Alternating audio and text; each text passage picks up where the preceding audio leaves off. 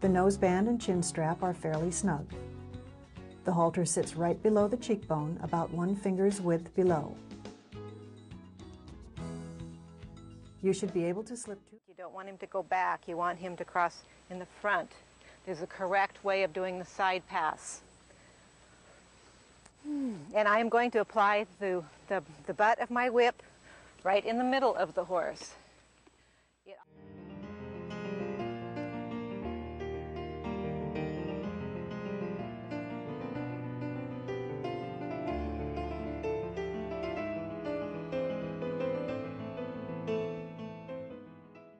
Contact through the lead to the halter at all times.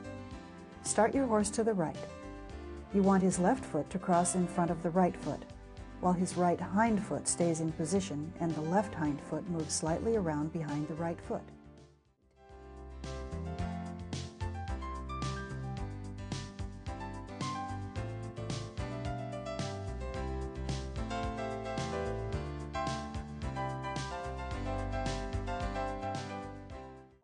Than to just step over onto the ground. Practice this obstacle very slowly, one step at a time.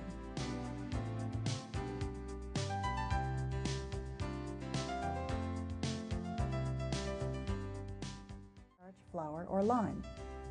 Here, the square has been placed inside the keyhole driving obstacle, and the handler will walk around the outside of the large circle. The reason this obstacle is so difficult is because when standing still, a horse